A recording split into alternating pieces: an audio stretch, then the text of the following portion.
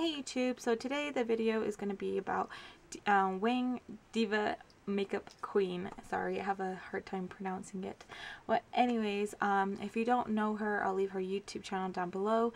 She was um, the first YouTuber, gu guru YouTuber I seen use Wet n Wild products. And um, so I did the video for her. Um, I just um, created this look she inspired me a lot because when I first um, first first I ever heard about this palette was from her because I was searching um, stuff about Wet n Wild. Wet n Wild I thought was just like nail polishes and like lipsticks but they also had palettes. So before I actually wanted to go out and buy one I looked and um, she swatched these ones and I fell in love. And I also picked up the brow kit as well uh, when I started, you know, looking into Wet n Wild and stuff. The reason why I'm doing this video for her is because I was going through my phone and I was like, you know what, I'm going to check my Gmail and I was just so excited because I love to see new subscribers and stuff. And I seen this. Let's see if you guys can see. Focus. It says, um, Diva Makeup Queen is now following you on Google Plus. I know Google Plus is really not a big deal, but to me it was. Um, I was just super excited. I was just like, oh my gosh. I jumped on the bed and I was telling my babe because he was sleeping and I was like, guess who's following me on Google Plus? And he's like, who? And he's like, you know, he's a boy. But anyways, I was really, really excited. So I was like, I'm to do a video for her and I'm to tag her in it. And I'm to use Wet n Wild products because she inspired me so much and just to like you know go out of your comfort zone and just mess around colors and just try you know like new like new things. Because like I would have never guessed that Wet n Wild was so good um like you know unless I would have never thought they were so good if she didn't put the videos up and stuff. And she does lots of swatches and everything and like it's such a pain because some people really don't like to sit there and do swatch after swatch after swatch but she does. Like she does like so many swatches. I'm just like oh thank you. So yeah. So I did the video for her and if you're watching this thank you so much for following me on Google Plus. And if you guys don't know who I'm talking about let me just go ahead and pull her up. I watch her videos like all the time. Um this is the um, newest video she's put up and this is her. I'm gonna let her say her name because I can't say it. Um I know it's let's see. Come on loading. I love the way she says it. She says it all fast. So yeah, if you want to know how to achieve this look, just keep on watching.